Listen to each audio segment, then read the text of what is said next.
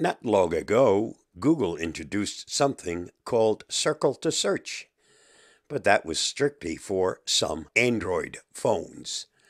What if you could use that same feature in your Chrome browser? Let me show you how that's done.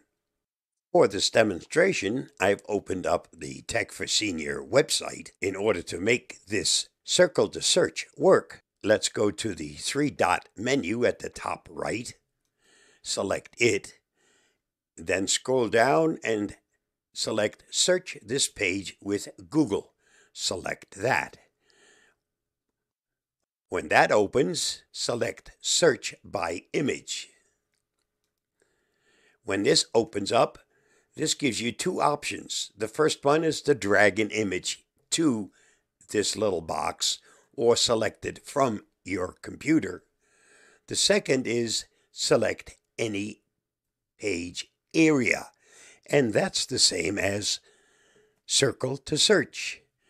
When I select the bottom one, select any page area, I now have two choices. If you have a touch screen, you can use your finger and circle something you want to search for. In my case, I don't have a touch screen, but I have the ability with the mouse to select any item. Let me select this one here. Once I've selected it, let go of your left mouse and it comes up. Now it'll tell you other places where it can find this image or images similar to the one you had circled.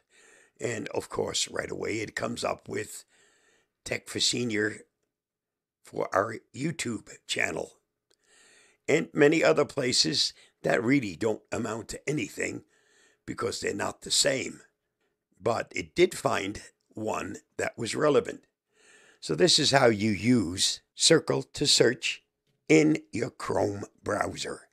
Stay safe, stay secure. I hope that helps. Bye bye, and thanks for watching and listening.